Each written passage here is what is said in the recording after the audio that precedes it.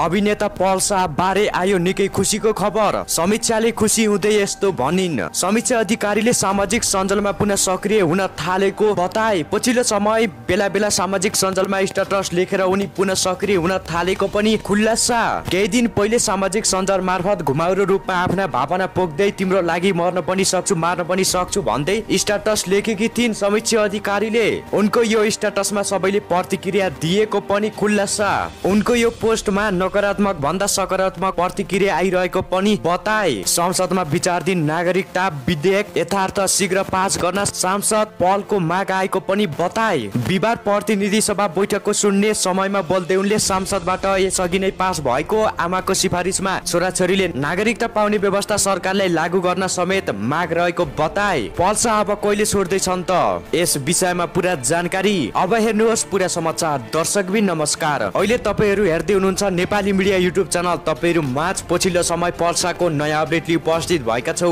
भिडियोलाई भने अन्तिमसम्म हेरी सानो लाइक र सेयर गर्न भने नभुल्नु होला अहिलेसम्म पनि हाम्रो च्यानललाई सब्सक्राइब गर्नु भएको छैन भने सब्सक्राइब गरी साइडमा रहेको बेलायकन घन्टीलाई बजाई अलमा क्लिक गर्न पनि नभुल्नु होला दर्शकबिन यो भिडियो कहाँदेखि हेर्दै हुनुहुन्छ?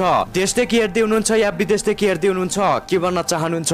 आफ्नो मनमा लागेका सल्लाह सुझाव प्रतिक्रिया भने तल कमेन्ट बक्समा गई कमेन्ट गर्न नभुल्नु होला आउनुहोस् दर्शकबिन लागो विषयवस्तुतर्फ दर्शकबिन पल्सा जिल्लाबाट तुरुन्तै छुट्ने भएका छन्। समीक्षाले खुसी हुँदै यस्तो भनेकी छिन्। समीक्षा अधिकारीले सामाजिक सञ्जालमा पुनः सक्रिय हुन थालेको बताएका छन्। पछिल्लो समय बेला बेलामा सामाजिक सञ्जालमा स्ट्याटस लेखेर उनी पुनः सक्रिय हुन थालेको बताएका छन्। लामो समयसम्म मैन बसेकी उनले केही समय पछिल्लो क्रममा लेखेको एक स्ट्याटस पनि भाइरल बनेपछि पुनः उक्त स्ट्याटस सच्याएकी थिइन्। केही दिन पहिले सामाजिक सञ्जाल मार्फत घुमाउरो रूपमा आफ्ना भावना पोख्दै तिम्रो लागि मर्न पनि सक्छु मार्न पनि सक्छु भन्दै स्ट्याटस लेखेकी छिन्। भने दर्शक बिन अर्को स्ट्याटसमा यस्तो लेखेकी छिन्। हाँसिरहेको एउटा तस्बिर सेयर गर्दै समीक्षाले लेखेकी थिइन् जिन्दगी न मैले सोचे जस्तो नहारे जस्तो भयो भन्दै सामाजिक सञ्जालमा लेखेकी थिइन्। उनको यो स्ट्याटसमा सबैले प्रतिक्रिया दिँदै आइरहेका छन्। उनको यो पोस्टमा नकारात्मक भन्दा सकारात्मक प्रतिक्रिया धेरै आइरहेको पनि बताएका छन्। गायिका समीक्षा समीक्षा अधिकारीले सामाजिक सञ्जालमा पुनः सक्रिय हुन थालेको बताएकी छिन्। पछिल्लो समय बेला बेलामा सामाजिक सञ्जाल सामाजिक सञ्जाल मार्फत स्ट्याटस लेखेर उनी पुनः सक्रिय हुन थालेको बताएका छन्। लामो समयसम्म मोइन बसेकी उनले केही समय पहिले लेखेको एक, एक स्ट्याटस पनि भाइरल बनेपछि पुनः उक्त स्ट्याटस सच्याएकी थिइन्। केही दिन अघि पहिले सामाजिक सञ्जाल मार्फत घुमाउरो रूपमा आफ्ना भावना पोख्दै तिम्रो लागि मर्न पनि सक्छु मार्न पनि सक्छु भन्दै स्ट्याटस लेखेकी थिइन्। उनले आज सोमबार उनले गत सोमबार फेरि अर्को स्ट्याटस लेखेकी थिइन्। हाँसिरहेको एउटा तस्बिर सेयर गर्दै समीक्षाले लेखेकी थिइन् जिन्दगी न मर्नु जस्तो भयो भन्दै सामाजिक सञ्जालमा पोस्ट गरेकी थिइन्। उनले यो स्ट्याटसमा सबैले प्रतिक्रिया दिँदै आइरहेका छन्। उनको यो पोस्टमा नकारात्मक भन्दा सकारात्मक प्रतिक्रिया आइरहेको पनि बताएका छन्। दर्शक नेता भने सांसद पलको बारे सरकारले छिटो भन्दा छिटो संसदमा विचारधीन रहेको नागरिकता विधेयक पास गर्न माग गरेका छन्। उनले नागरिकता विधेयक संसदबाट पास नहुँदा विशेष व्यवस्थापनमा रहेका नागरिकले नेपाली नागरिकता पाउनबाट वञ्चित भएको बताएका छन्। बिहिबार प्रतिनिधि सभामा बैठकले सुन्ने समयसम्म समयमा बोल्दै उनले सांसदमा यसअघि नै पास भएको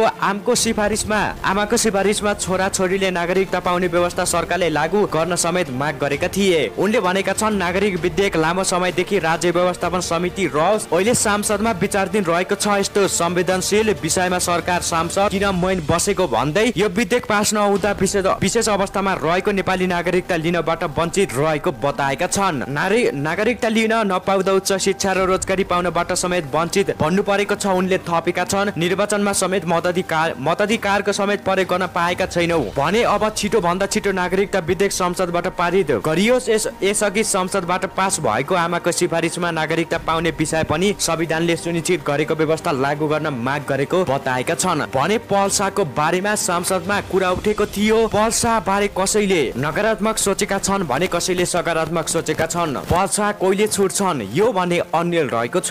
दर्शकबिन यो फलोअप रिपोर्ट तपाईँहरूका लागि अन्तिमसम्म हेर्न नभुल्नु होला दर्शकबिन उच्च अदालत पोखराले जबरजस्ती करडीको आरोप लागेका मोडल एवं अभिनेता पर्सलाई पूर्वपक्षका लागि थुनामा पठाउने तनहुरा पूर्वी नवलपरासी जिल्ला अदालतको आदेशलाई सदर गरेको बताएका छन्। बिहिबार आज बसपछि उच्च बिहिबार आज बसपछि उच्च अदालत पोखराका न्यायाधीश श्रीधरा कुमारी पुरा सैनिक र उज्जवल सुबलको संयुक्त इजलासले तनहुरा पूर्वी नवलपरासी जिल्ला अदालतको आदेशलाई नै सदर गरेको बताएका छन्। अभिनेता शाहले सात र तारिकमा रिहाई गर्नका लागि गरेको मागलाई अदालतले अस्वीकार गरेको बताएका छन्। अब कम्तीमा फैसलासम्म अभिनेता शाह थुनामै रहने भएका छन्। अभिनेता पल शाहको पक्षधारले बाहिर बसेर मुद्दा लड्न पाउने माग गरी उच्च अदालत पोखराका पुनरावेदन गरेका थिए। आज भएको सुनवाईमा पीडित किशोरीले तर्फबाट उच्च अदालत सरकारी वकिलले कार्यालयबाट सरकारी वकिल ईश्वर प्रसाद ढकालले बस गरेका थिए भने अभिनेता शाहको तर्फबाट माधव घिमिरे लगायतका बस गरेका थिए। अभिनेता शाह गत फागुन पन्ध्र गते पक्राउ परेका थिए। दर्शक विनेता भने नेकपा एमालेकी सांसद गङ्गा चौधरीले यौन हिंसा विरुद्धको विधेयकमा उजुरीको